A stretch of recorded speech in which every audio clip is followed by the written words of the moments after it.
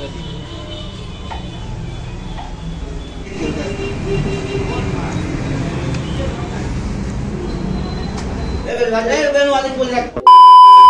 hello guys welcome to my channel crazy food Bishal আজকে চলে এসেছি আরও একটা দারুণ দারুণ ব্লগ নিয়ে।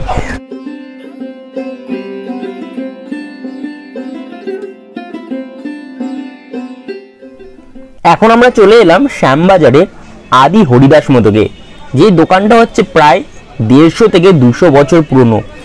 আর এই দোকানটা খুবই ফেমাস এমন খুব কম লোকই আছে যারা আদি হরিদাস মোদক ব্যাপারে জানেনি না। তো আমরা চলে এলাম বিকেলের নাস্তা করতে আদি হরিদাস মোদকে। তো চলো ভেতরে ঢোকা যাক। তো আমরা হরিদাস মোদক দোকানের ভেতরে এখন ঢুকে পড়লাম আর ঢোকার সাথে সাথেই দেখো আমাদের দিয়ে দিয়েছে কলা পাতা। তো এই কলা পাতায় বিকেলের নাস্তা খাওয়ার জন্যই তো আজকে আমরা এসেছি এখানে। তো তোমরা দোকানের অ্যাম্বিয়েন্সটা দেখো জাস্ট অসাধারণ। পুরনো কলকাতার ঐতিহ্য দোকানে গন্ধে গন্ধে ভেসে আসছে। দোকানের দেওয়ালেই রয়েছে অসংখ্য বাংলার মুনি ঋষির ছবি। এবং দোকানে পুরনো কলকাতার কিছু ছবিকে ফ্রেমবন্দি করা হয়েছে, যা দেখলেই তুমি ফিরে যাবে পুরনো কলকাতার দিনগুলিতে। আদি হরিদাস মোদক বিভিন্ন জায়গা থেকে বিভিন্ন পুরস্কার পেয়েছে তাদের কোয়ালিটি মেনটেন করার জন্য। আর এখানে দেখো কচুরির দাম দেওয়া রয়েছে। তিনটে কচুরি ছত্রিশ টাকা এবং লুচি তিরিশ টাকা। এই হচ্ছে সেই আদি হরিদাস মোদকের রান্নাঘর, যেখানে আমাদের লুচিটা গরম গরম ভাজা হচ্ছে। এখন আমরা চলে এসেছি হরিদাস মোদকে। আর আসার পরেই দেখো এখানে কলা পাতা দিয়ে দিয়েছে। তো সন্ধ্যের সময় লুচি আর সকালে কচুরি।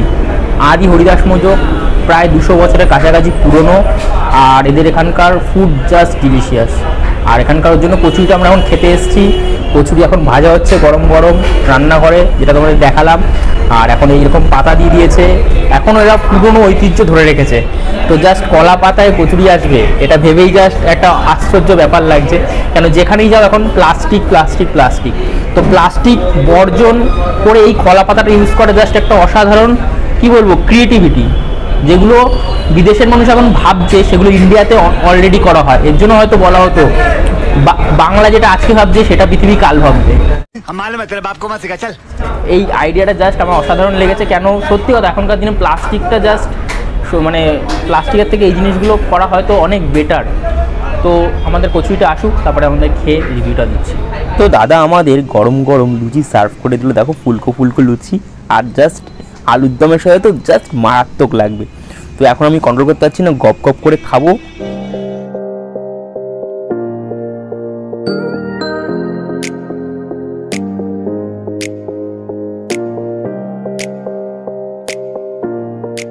আমাদের লুচি আর তরকারিটা চলে এসছে।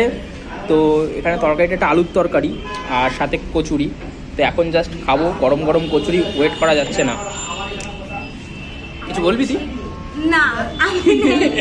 আমি নেই ও তুই নিয়ে যাই হোক থাকা সত্ত্বেও বলছে নেই। ঠিক আছে। ঠিক আছে ওখানে দাদা বসে আছে। দাদা বলছে না দিতে তো এখন আমি খাব ওয়েট করতে পারছি না আর। তো কচুরিটা জাস্ট এখন খাব জাস্ট এই গরম গরম কচুরি। ও দারুণ সফট সরি লুচি। কচুরি নয় লুচি এটা। বারবার ভুল হচ্ছে। কেন অবশ্যই সকালবেলার কচুরিটা যেহেতু এতটা ফেমাস তো বিকেলবেলার লুচিটা এই কচুরি হিসেবে ভুলে যাচ্ছি। তো এটা লুচি, গরম গরম লুচি আর সাথে আলুর তরকারি আর কলা পাতার মধ্যে। পাঁচ বাইটা নিয়ে নিই হুম।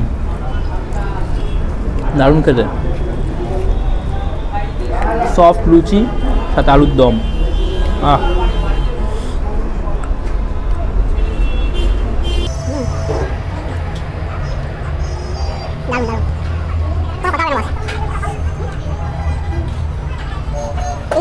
এখানে লুচিটা খাচ্ছি।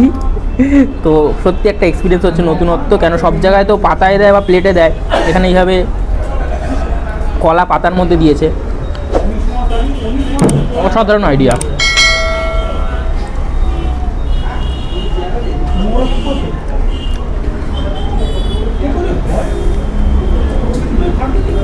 তো খাওয়াটা শেষ হোক। বাকি কথা তারপর। বাঙালি মিষ্টি ছাড়া খাওয়া কমপ্লিট হয় না। এই রসগোল্লা, রসটা চিপে।